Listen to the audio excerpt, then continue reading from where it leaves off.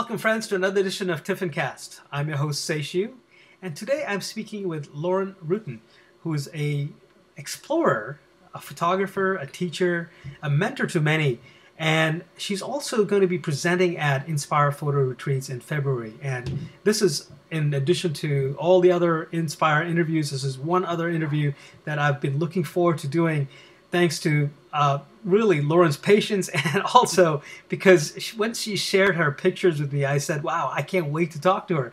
Lauren, thank you so much for joining me today. It's my pleasure. I'm happy to finally get to talk with you. Absolutely. Lauren, I think I'm going to start off by asking you why you call yourself an explorer. Um, I chose that because I felt like photographer has become too limiting for what I do. Um, you know, when people ask me, well, what, you know, what do you do? And, uh, you know, I teach photography, I teach visual arts, I write, I make fine artwork, I do commercial work. Um, and so, uh, you know, photographer just doesn't hold it anymore for me. Okay. And, yeah. and, and uh, from your, from your images, I, it, I can see the sort of the breadth of work that you've been sort of involved in, you know, mm-hmm. from photojournalism to kids to, I mean, just the whole the whole gamut of things, you know. Mm-hmm. Uh, what what what is it? What is it? One thing that inspires you to pick up a camera and make images in the first place? Um, connection with people. I love hearing people's story. I love interacting with people one on one. I'm not. I'm not a big group kind of people but I love having conversations in an intimate way with people and seeing who they are and being able to reflect that back to them. That's, and yeah, so I like to say that I'm a very responsive photographer. Ah, well, I like yeah. that. I like yeah. that a lot. That's great. That's probably how I would describe myself. Yeah. Um, when I'm photographing, I'm also, you know, sort of soaking up the energy that people in front of me are giving out more right. than more than my putting the energy out first. I'm waiting for them to sort of deliver, and I'm going, "Oh, that's awesome! I'll take that." you know, you know, and make some images. That's great. Um, as I as I've already told you a couple of times now, that picture of uh, the holiness, His Holiness the Dalai Lama, is just mm-hmm. such a wonderful image of him caught uh, in in sort of mid-flight almost because he's taken yeah. off. It looks like. Yeah. Um, when was that shot, and how was that made? That was in um, 2012, I believe. Yeah, 2012, late 2012. Um, it was a press conference for an event that I was the photographer for in Newark, New Jersey. It was ah. a um, Peace Education Summit. And um, so I was there for the, the press conference, but then I was also there the following day to shoot the actual event.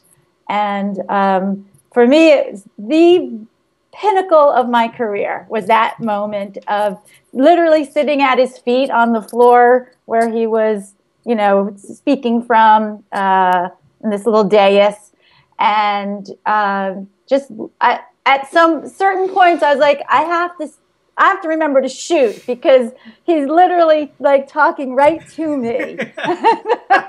and, you know, having not been a press photographer, right. this was a really different experience for me. I mean, I've been, you know, I've gone to events, I've documented things like that before, but n- never with like the whole press corps kind of thing um, and not an event, you sure. know?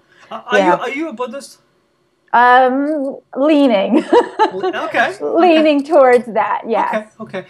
So uh, it was a great honor for me to go. Definitely, um, definitely. To go to that, and then um, actually, while I was traveling, I visited his monastery in India. Oh. Yeah. Oh, excellent. In yeah. Dharamsala. Excellent. Very nice. Um, tell me a little bit about your. You, you've got several projects.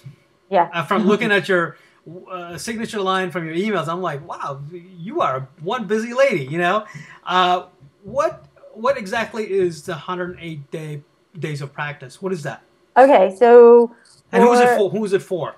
It's for myself as um, an art and spiritual practice, staying present in my day, connected to the practice of making art, of seeing my world, of connecting. And I, um, so I started that 10 cycles ago. The 108 days is the, ra- the amount of days I committed to doing for the first time in 2010.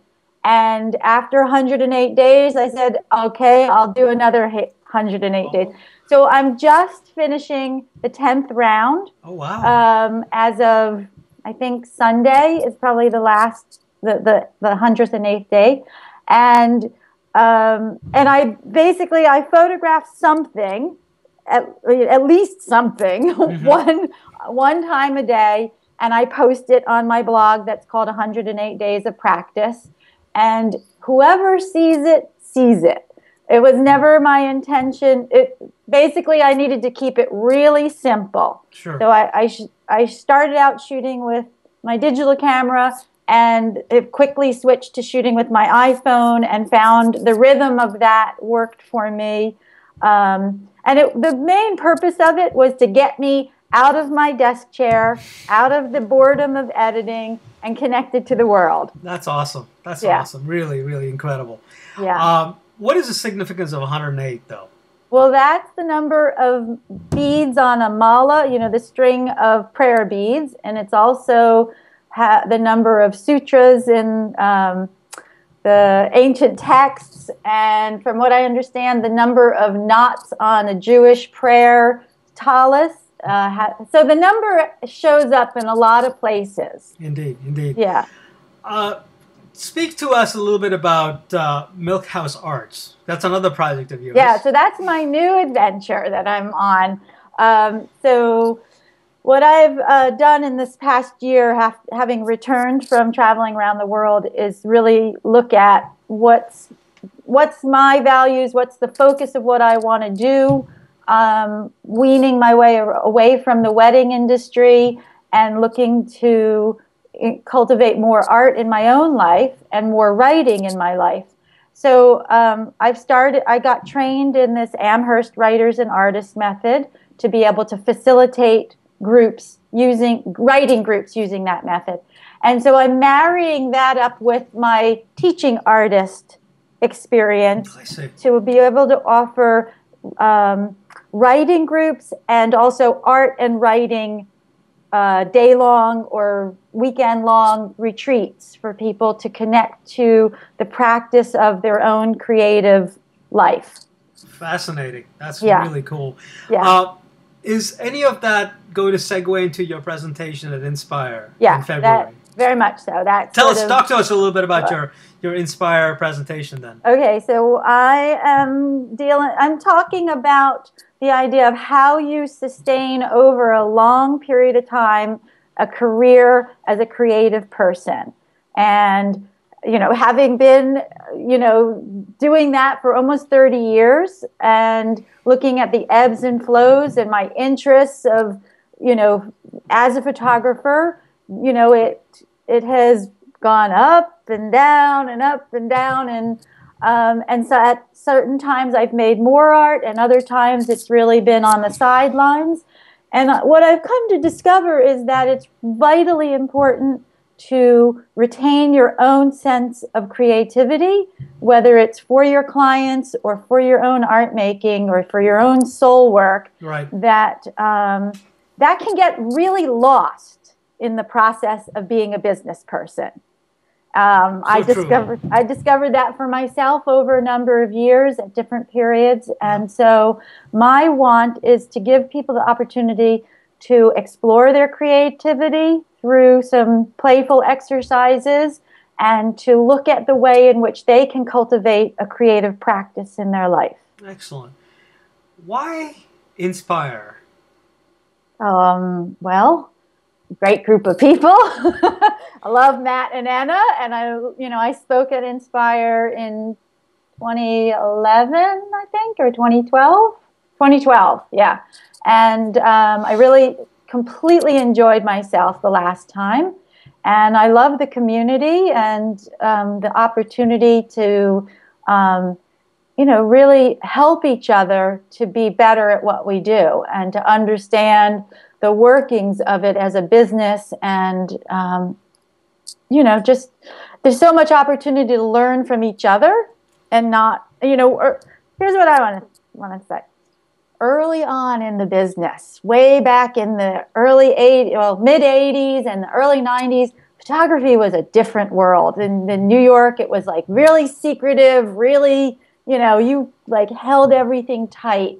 And what I found in the years, you know, in the in the 2000s, things have changed. Information is much more available, and people are much more inviting of connection. And I want to be part of that.